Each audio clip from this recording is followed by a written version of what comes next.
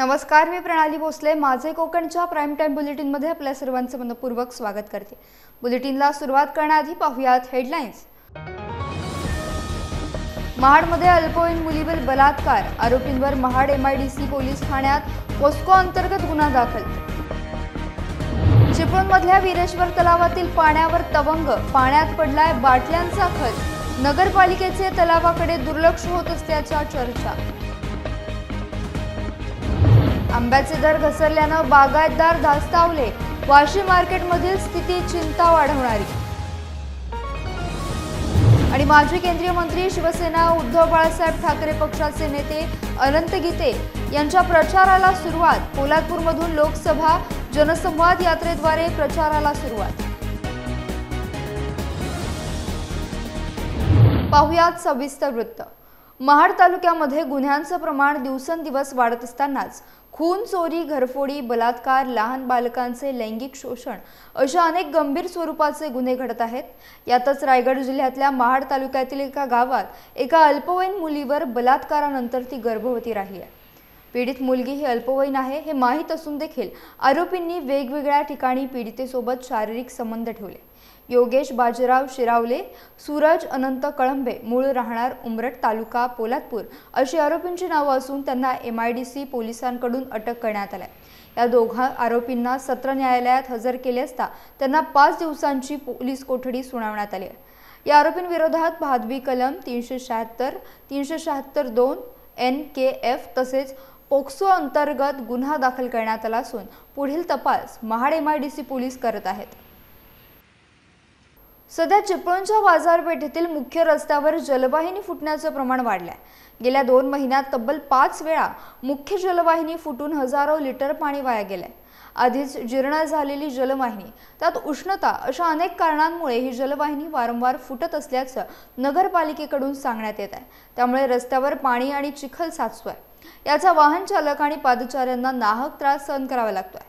संपूर्ण शहरात रस्त्याखाली असलेली जलवाहिनी जीर्ण झाली आहे आणि त्यामुळे नव्या पाणी योजनेकडे नागरिकांचं लक्ष लागलंय. दरम्यान महाराष्ट्र शासनातर्फे मंजूर झालेली ग्रॅव्हिटी पाणी योजना प्रशासकीय मान्यतेसाठी गेली असता जुन्या एस्टिमेट दरामध्ये बदल झाल्यानं नव्या डी एस आर रेटप्रमाणे एस्टिमेट करण्याचं काम सुरू आहे अशी माहिती मुख्याधिकारी विशाल भोसले यांनी दिली आहे. चिपळूण शहरातील मध्यवर्ती एस टी स्टँडच्या मागे असलेल्या वीरेश्वर तलावात एक विचित्र तवंग पाहायला मिळतोय. याच सोबत पाण्यामध्ये बाटल्यांचा खस देखील साचलाय. संध्याकाळी तलावाकिनारी तळीराम दारू पिण्यासाठी बसतात आणि बाटल्या तिथेच टाकून जातात असं इथल्या नागरिकांचं म्हणणं आहे. काही महिन्यांपूर्वी येथील मॉर्निंग वॉक करणाऱ्या नागरिकांनी तलावातील बाटल्या काढून परिसर स्वच्छ केला होता. यावेळी तलावाच्या सभोवती पालिकेतर्फे स्वच्छता केलेली दिसते मात्र पाण्यात एक विचित्र तवंग आढळून आला आहे काही दिवसांपूर्वी अशाच तवंगामुळे या तलावातील सर्व मासे मृत झाले होते.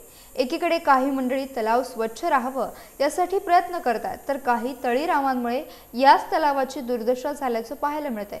अशा समाजकंटकांवर कठोर कारवाई करावी अशी मागणी आता जोर धरते हापूस आंबा आणि तोही देवगड हापूस आंबा म्हटलं की जिभेला पाणी सुटल्याशिवाय राहत नाही. पण याच हापूस आंब्याचा हंगाम मध्यावर आला तरी सर्वसामान्यांना त्याची चव चाखायला मिळालेली नाही. हंगामातील मार्च महिन्याच्या अखेरीस देवगड हापूस आंबा हा दरामुळे सर्वसामान्यांच्या आवाक्याबाहेर आहे. त्यातच मुंबईच्या वाशी मार्केटमध्ये आंब्यांच्या पेटीचे दर गडगडले असून खाजगी मार्केटमध्ये डझनच्या हिशोबानं थेट ग्राहकांना विक्री होणार. हापूस आंबा हा बागायतदारांना आशेचं किरण देणारा ठरतोय. तर सर्वसामान्य नागरिक स्थानिक मार्केटमध्ये आंब्याचे दर कमी होण्याच्या प्रतीक्षेत आहेत. ह्या वर्षी आंब्याचं उत्पादन खूप कमी प्रमाणात आहे. म्हणजे टोटल उत्पादन बघितलं तर पंधरा ते वीस टक्के उत्पादन आहे. जे ह्या वर्षी खरं म्हणजे उत्पादनाचं प्रमाण जादा येणं गरजेचं होतं गरजेचं होतं. कारण गेल्या दोन वर्षामध्ये आंबा झाडांना खूप कमी प्रमाणात आंबा होता आणि ह्यावेळी ह्या वर्षी खूप मोठ्या प्रमाणात चांगला आंबा येईल असं शेतकऱ्यांना म्हणजे म मनापासून वाटत होतं किंवा तशी त्यांची आशा होती. परंतु त्या प्रमाणात काय हवामानाबरोबर म्हणजे अवकाळी पडलेला पाऊस त्याच्यानंतर थ्रिप्सचा झालेला अटॅक किंवा हॉपर्स म्हणजे तुडतुड्याचा झालेला प्र अटॅक ह्यामुळे उ- उत्पादन खूप कमी प्रमाण कमी प्रमाणात आलेलं आहे. माझ्या बागेमध्ये सुद्धा मी हे सगळं आंबा टिकवण्यासाठी खूप प्रयत्न करत असताना वेळोवेळी फवारण्या म्हणजे फवारणी ह्यावर्षी दुप्पट प्रमाणात फवारण्या कराव्या लागल्या. आणि जो काय एक पंधरा वीस किंवा पंचवीस टक्केपर्यंत जो आंबा टिकलेला आहे त्यापैकी आंबा यावर्षी फ थंडीचं प्रमाण जास्त असल्यामुळे आंबा तयार होताना सुद्धा उशिरापर्यंत उशिरा तयार झाला. आणि आजपर्यंत माझ्याकडनं मुंबई मार्केटमध्ये एक शंभरच्या जवळपास पेटी गेलेली आहे. आणि आता ह्या एप्रिलच्या पहिल्या आठवड्यापासून हा आता आंबा काढणीसाठी तयार झालेला आहे. दर म्हणजे कसं मुळातच ह्या वर्षी आंबाला जे सुरुवातीला जे दर चांगल्या पद्धतीने पाहिजे होते ते काय मिळालेले नाहीत. आता जी मी शंभर पेटी पाठवली त्यालासुद्धा जो जो दर मिळाला पाहिजे त्या प्रमाणात मिळालेला नाही. प्रत्यक्ष जर आम्ही पिकवून तो कस्टमरपर्यंत विकला असता तर त्याला डझनाचा रेट तो चांगला होता. परंतु आम्ही जो आमच्या दलालांकडे किंवा मार्केटला जो आंबा पाठवतो तो त्या प्रमाणात आम्हाला काय दर मिळत नाही. चिपळूणमधील कोले खाजन येथील चंद्रकांत चिपळूणकर यांचे ज्येष्ठ सुपुत्र राकेश चिपळूणकर हे भारतीय सैन्य दलातून नायब सुभेदार या पदावरून निवृत्त होऊन काल चिपळूणला परतले. तब्बल वीस वर्ष देशसेवा करून परतणाऱ्या राकेश चिपळूणकर यांच्या स्वागतासाठी कोले खाजन येथे ग्रामस्थांनी मोठी गर्दी केली होती. लहानांपासून अगदी मोठ्यांपर्यंत सर्वांनीच त्यांची ओवाळणी करून ढोल ताशे वाजवत स्वागत केले कोले खाजन येथील महालक्ष्मी सहान येथे प्रथम दर्शन घेऊन त्यांची मिरवणूक घरापर्यंत नेण्यात आली. यावेळी ग्रामस्थांच्या वतीनं त्यांचे स्वागत आणि सत्कार करण्यात आला. देशसेवा करून परतणाऱ्या सुपुत्राचे स्वागत करण्यासाठी पुन्हा शिमगा साजरा झाल्याचं चित्र पाहायला मिळालं. यावेळी अनेकांनी त्यांना भावी वाटचाली शुभेच्छा दिल्या.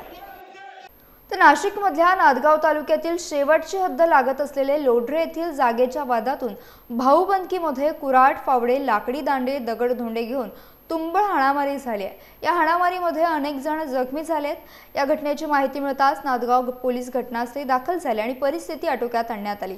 त्यानंतर जंगलू बाळू शिंदे यांच्या तक्रारीनुसार बारा जणांना पोलिसांनी ताब्यात घेतलं असून भादवी कलम तीनशे सात तीनशे सव्वीस पाचशे चार पाचशे सहा एकशे त्रेचाळीस एकशे सत्तेचाळीस एकशे अठ्ठेचाळीस एकशे एकोणपन्नास पोलीस अधिनियम कायदा सदतीसनुसार ते सदतीसमधील एक तीनचे उल्लंघन करून एकशे पस्तीस प्रमाणे गुन्हा दाखल करण्यात आलाय. या गुन्ह्याचा पुढील तपास नादगाव पोलीस निरीक्षक प्रीतम चौधरी करीत आहेत. खासदार विनायक राऊत हे उमेदवार कोणी असला तरी निवडून येणार.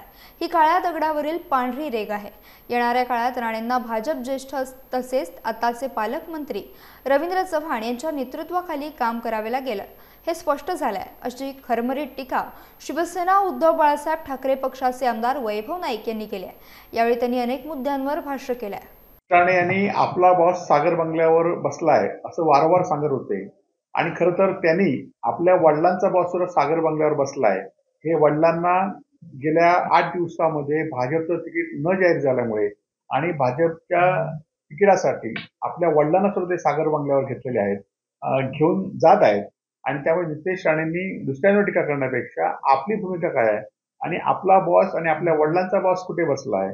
आणि ते काय सांगतायत तेच तुम्हाला बोलावं लागत आहे हे आता महाराष्ट्रातल्या जनतेला कळून चुकलेलं आहे. कारण गेले चार दिवस ते सांगतायत की सिंधुदुर्ग जिल्ह्यामध्ये माझं तिकीट जाहीर झाल्यानंतर रॅली करणार आहेत स्वागत करणार आहेत. परंतु चारही दिवसांच्या तारखा लोकांना आता वेगवेगळ्या सांगत आहेत आणि ते तारखा पुढे ढकलत आहेत. यातच खरं तर आमचा विजय आहे. खासदार विनायक राऊत हे येणाऱ्या निवडणुकीमध्ये उमेदवार कोणी असला तरी आता निवडून मोठ्या मताधिक्याने येणार आहेत. ही काळ्या दगडावरची पांढरी ड्रेस आहे. नितेश राणे असून देत किंवा फडणवीस असून देत यांच्या आधीपासूनच उद्धव बाळासाहेब ठाकरे हे पक्षाचे कार्याध्यक्ष आहेत. अनेक बाळासाहेबांचे जे चिरंजीव आहेत. परंतु असं असताना सुद्धा खरं तर याआधी एकदाही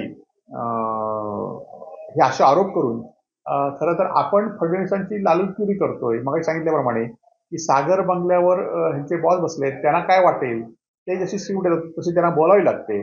परंतु उद्धव बाळासाहेब ठाकरेंनी सत्ता असून तर सत्ता नसून देत. आज पण ज्या शिवसेनेच्या सीट आहेत त्या शिव शिवसेनेचे खासदारांच्या सीट आता पक्ष फोडला तरी ते जास्तीत जास्त मतात निवडून येणार आहेत. आणि त्यामुळे असे आरोप हे कोणी स्क्रिप्टने करतायत हे लोकांच्या लक्षात काय याल्याशिवाय राहणार नाही. खरं तर आमच्या खळा बैठका आहेत ह्या सामान्य लोकांच्या घरी असतात. आणि त्या त्या लोकांना जास्तीत जास्त चांगला प्रतिसाद मिळतो. परंतु नितेश राणे आणि त्यांचे वडील नारायण राणेंच्या खळा बैठक खरं तर देवेंद्र फडणवीस यांच्या बंगल्यावरच आहेत. गेले आठ दिवस ते देवेंद्र फडणवीस यांच्या खळ्यावरच बैठका घेत आहेत. आणि त्यामुळे त्यांच्या आणि आमच्या खळ्याच्या बैठकीचा फरक हा आहे. रायगड लोकसभा इंडिया आघाडीचे उद्धव बाळासाहेब ठाकरे पक्षाचे उमेदवार अनंत गीते यांनी पोलादपूर तालुक्यातील नरवीर तानाजी मालुसरे यांच्या पावनभूमीतील साखर या गावातून जनसंवाद यात्रेची सभा घेऊन जनसंवाद दौरा सुरू केला. आहे यामध्ये इंडिया आघाडी आणि सर्व घटक पक्ष संघटना यांचे कार्यकर्ते उपस्थित होते. यावेळी अनंत गीते यांनी भाषणामध्ये प्रतिस्पर्धी उमेदवार सुनील तटकरे यांच्यावर टीकास्त्र सोडलाय. तसेच येणारी निवडणूक ही गद्दारांना धडा शिकवणारी असल्याचं त्यांनी सांगितलंय. यावेळी माजी नगराध्यक्षा स्नेहल जगताप यांनी देखील कार्यकर्त्यांना मार्गदर्शन केलंय.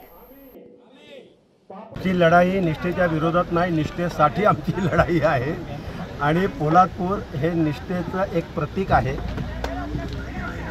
या महाराष्ट्राला लाभलेल्या छत्रपती शिवाजी महाराजांच्या वीर पराक्रमातील जे निष्ठेचे अनेक मावळे होऊन गेले त्या मावळ्यांपैकी जो शिरोमणी म्हणून ज्याच्याकडे पाहिलं जातं ते नरवीर तानाजी मालुसरे यांची ही पावनभूमी उमरट हे त्यांचं जन्मगाव आणि म्हणून पोलादपूर ही निष्ठेची पावनभूमी आहे पवित्र भूमी आहे. या निष्ठेच्या पवित्र भूमीतूनच या निवडणुकीच्या प्रचाराचा शुभारंभ करण्याचा मी निर्णय घेतला निर्धार केला. आणि त्या निमित्तानं इंडिया आघाडीचा हा जनसंवाद दौरा साखर गावातून पोलादपूर तालुक्यातला हा आज या ठिकाणी सुरू झालेला आहे. ही लढाई निष्ठा जपण्यासाठी आहे निष्ठा राखण्यासाठी आहे. ज्यांनी ज्यांनी म्हणून गद्दारी केलेली आहे त्या सर्व गद्दारांना धडा शिकवण्याकरता ही लढाई आता सुरू झालेली आहे. आणि म्हणून ज्या नरवीर तानाजी मालुसरे यांचं एक उदाहरण आपण निष्ठेचं प्रतीक म्हणून पाहतो त्या नरवीर तानाजी मालुसरे यांच्या पवित्र कृतीला आणि त्यांच्या भूमीला प्रणाम करून या लढाईची सुरुवात आज साखर गावातून आम्ही केलेली. प्रभाकरजी मोरे साहेबांच्या माध्यमातून असेल किंवा स्वर्गीय आबासाहेबांच्या माध्यमातून असेल आप- आपण वेळोवेळी या ठिकाणी विकास कामे करण्याचा प्रयत्न केला आहे आपण केलेली आहेत. पण साहेब ज्या पद्धतीने आपण कामं केलेली आहेत तर त्याच्यावरती निश्चितपणानं पंधरा वर्षामध्ये कुठेही आपल्याला या माध्यमातून कामं होताना दिसलेली नाही आहेत. म्हणून हा भाग अतिशय मागे राहिलेला आहे. आणि हे आपल्या सगळ्यांनाच मला असं वाटतं पटत असणार आहे. मग आत्ताचे असणारे विद्यमान असतील खासदार असतील किंवा आमदार असतील कोणाच्याही माध्यमातून पाहिजे तसा विकास या गावामध्ये या तालुक्यामध्ये कधीही आपल्याला दिसला नाही. अनेक प्रश्न या तालुक्याचे आहेत. रोजगार जी निर्मिती या ठिकाणी ज्या पद्धतीने झाली पाहिजे तरुणांना ज्या ठिकाणी रोजगार झाला पाहिजे त्या पद्धतीचा रोजगार आपल्याला कुठेही या ठिकाणी बघायला मिळत नाही. की मला जरी पक्षप्रमुखांनी या ठिकाणी उमेदवारी जाहीर केलेली असली तरी सुद्धा जर का माझे हात बळकट करायचे असेल तर निश्चितपणानं आदरणीय गीते साहेबांना आपल्याला पहिल्यांदा खासदार करणं खूप गरजेचं आहे. आणि त्याच्यासाठी आपण सगळ्यांनी सज्ज होणं खूप काळाची गरज आहे. पेणमधील ग्रुप ग्रामपंचायत शेडाशीमधील शेराशी मायणी मालदेव तळदेव खडकीवाडी तसेच फणसीवाडी येथील ग्रामस्थ ग्रामपंचायत सदस्य यांच्यासह शेकडो तरुण पुरुष आणि महिलांनी शिवसेना शिंदे गटात जाहीर पक्षप्रवेश केला आहे तसेच कळवे ग्रामपंचायतचे उपसरपंच श्रीधर म्हात्रे यांचा त्यांच्या समर्थकांसह महेंद्र दळवी यांच्या कार्यप्रणालीवर विश्वास ठेवून शिवसेना शिंदे गटात प्रवेश करण्यात आला. शिवसेनेची पेण तालुक्यात घौडदौड सुरूच असून अलिबागचे आमदार महेंद्र दळवी यांच्या कार्यप्रणालीवर विश्वास ठेवत एकामागोमाग एक अशा अनेक गावातील तरुण तरुणी महिला पुरुष मोठ्या संख्येनं शिवसेना शिंदे गटात प्रवेश करत आहेत. कणकवली शहरात सकाळी एका मोबाईल शॉपीला आग लागली होती. त्यामुळे लाखोंचं नुकसान झालं होतं. त्यानंतर आमदार नितेश राणे यांनी या दुकानाला भेट दिली. त्यावेळी कणकवलीत फायर सेफ्टीचे नियम पाळले गेले पाहिजेत. बिल्डिंगचे फायर ऑडिट देखील झाले पाहिजे. त्यामुळे लोकांच्या आयुष्याबरोबर कोणी खेळता कामा नये कुठलीही तडजोड होता कामा नये अशा सूचना नितेश राणे यांनी यावेळी दिल्यात. यावेळी जिल्हा बँक अध्यक्ष मनीष दळवी माजी नगराध्यक्ष समीर नलावडे आदी उपस्थित होते. की आपल्या कणकवली शहरामध्ये जर अशा पद्धतीची काही दुर्घटना घडली तर मग फायर एक्स्टिंग्विशर गाड्यांची येणं जाणं असेल त्यांच्या पार्किंग असेल आणि तेव्हा तेव्हा ती आग विझवण्यासाठी ज्या ज्या गोष्टीची आणि यंत्रणेची गरज भासते त्या सगळ्या यंत्रणेला आपण इथे फिरण्यासाठी किंवा इथे आतमध्ये शिरण्यासाठी त्या त्या पद्धतीची जागा उपलब्ध झाली पाहिजे. आणि त्या पद्धतीचे पत्रही मी नगरपंचायतीला पण तेव्हा दिलेले नगरविकास खात्याकडे पण माझे तसे पत्र आहेत. आपण लोकांना वाचवण्यासाठी आणि किंवा आग विज विझवण्यासाठी तरी तिथे गाडी गेली पाहिजे पार्किंग झाली पाहिजे हे सगळे नियम हे ठरवलेले आहेत. आज सुदैवाने फक्त त्याचं दुकान जळलं पण आजूबाजूचे एवढे जवळजवळ दुकानं आहेत तिथे अगर आग अगर पसरली असती तर आपल्याला केवढं मोठं नुकसान झालं असतं? म्हणून हा कुठला राजकीय मुद्दा नाही आहे कोणाच्या वैयक्तिक आरोप करण्याचा विषय नाही आहे पण शेवटी कणकवलीकरांच्या जीवाशी कोणी खेळता कामा नाही प्रत्येकाला व्यवसाय धंदा करण्याचा अधिकार आहे पण व्यवसाय धंदा करण्याच्या नावाने कोणाच्या आयुष्यावर पण खेळता कामा नये एवढीच अपेक्षा या निमित्त मी व्यक्त करतो शिवसेना पक्षाचे मावळ विभागाचे खासदारकीचे अधिकृत उमेदवार आणि विद्यमान खासदार श्रीरंग बारणे यांनी ज्येष्ठ निरूपणकार पद्मश्री महाराष्ट्र भूषण अप्पासाहेब धर्माधिकारी यांचे आशीर्वाद घेतले. तसेच महेंद्र दळवी यांच्या निवासस्थानी सदिच्छा भेट दिली. यावेळी त्यांनी सहपरिवार त्यांचे स्वागत केले. यावेळी त्यांच्यासोबत रायगड जिल्हा प्रमुख राजा केणी जिल्हा नियोजन समिती सदस्य संतोष निगडे तसेच इतर पदाधिकारी आणि कार्यकर्ते उपस्थित होते. उद्योजक आणि प्रगतशील शेतकरी सदानंद उर्फ अप्पा कदम यांनी आज त्यांच्या मूळ गाव असलेल्या खेड तालुक्यातील जामगे येथील जागृत कोटेश्वरी मानाई देवीच्या पालखीचे मोठ्या भक्तिभावाने दर्शन घेतले. यावेळी दापोली मतदारसंघाचे माजी आमदार संजय कदम तसेच देवस्थानचे मानकरी उपस्थित होते. आज सोमवारी सकाळी साडेदहा वाजता सदानंद उर्फ अप्पा कदम यांनी आपल्या सहकाऱ्यांसह देवीच्या पालखीला भेट दिली. देवीचे भक्तिभावाने दर्शन घेतले. तसेच गावातील ज्येष्ठ मंडळींचे आशीर्वाद घेऊन अनेकांना भेटून त्यांनी शुभेच्छा देखील दिल्यात. शिमगा उत्सव हा आपल्या कोकणवासियांच्या हक्काचा सण. अनेक चाकरमानी वर्षातून एकदा आपल्या गावी येतात आणि हा सण एकोप्यानं साजरा करतात. वर्षातून एकदा आपले ग्रामदैवत आपल्या घरी येणार त्याची पालखी आपल्या खांद्यावर नाचवता येणार याचा उत्साह सर्वत्र पाहायला मिळतोय. शिमगोत्सवानिमित्त अंजनी गावचे ग्रामदैवत असणाऱ्या श्रीदेव केदारनाथांच्या पालखी स्वागताचा आणि पालखी नाचवण्याचा कार्यक्रम अत्यंत भक्तिमय वातावरणात गवळवाडीचे श्रद्धास्थान असणाऱ्या श्रीदेवी अडेकरीन मंदिराजवळ अखंड गवळवाडीच्या वतीनं अत्यंत उत्साहाच्या वातावरणात पार पडला. या कार्यक्रमासाठी अंजनी गावचे विद्यमान उपसरपंच संतोष कानेरे यांच्यासह अनेक मान्यवर मंडळी उपस्थित होते. या संपूर्ण कार्यक्रमाचे आयोजन अडेकरीन सेवा मंडळ आणि अडेकरीन युवा मंचाच्या वतीनं करण्यात आले होते.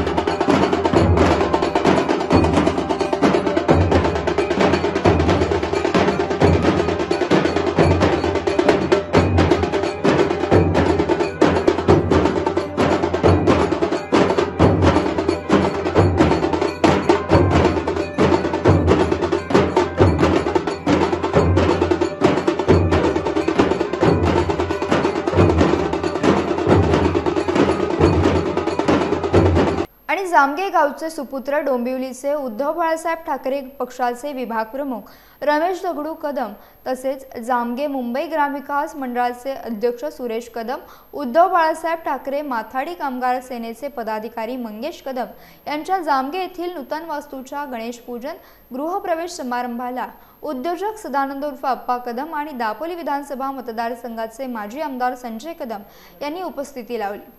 उद्योजक सदानंद उर्फ अप्पा कदम आणि माजी आमदार संजय कदम यांनी मंगेश कदम रमेश कदम आणि सुरेश कदम यांना मनापासून शुभेच्छा दिल्या. तसेच या तिघांकडूनही सदानंद उर्फ अप्पा कदम तसेच संजय कदम यांचे पुष्पगुच्छ देऊन स्वागत करण्यात आले. यावेळी दया कदम शंकर नायर दिलीप कदम अविनाश कदम रामदास मुरकुटे प्रदीप कदम बजरंग कदम सुरेश कदम रमेश कदम गंगाधर कदम अरुण चव्हाण जांभळीतील ग्रामस्थ ज्येष्ठ नागरिक आणि मंगेश कदम यांचा मित्रपरिवार मोठ्या संख्येने उपस्थित होता. यासह बुलेटिनमध्ये वेळ झाली येथेच थांबण्यास भेटूयात नवीन बुलेटिनसह तोपर्यंत तुम्ही कुठेही जाऊ नका. पाहत रहा फक्त माझे कोकण.